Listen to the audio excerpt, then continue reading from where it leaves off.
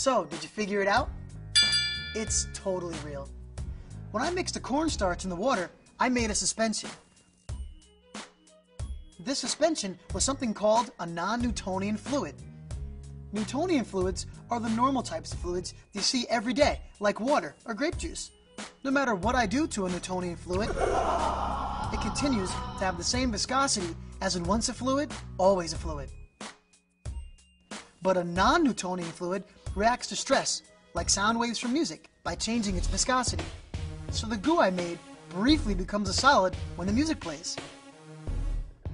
There's another type of non-Newtonian fluid that actually reacts when it experiences stress. You probably have it in your own home. It's ketchup. So the next time you're trying to pour the ketchup and it's not coming out, just play it some tunes. I'm Jeremy, this is science, and this is fact or fool.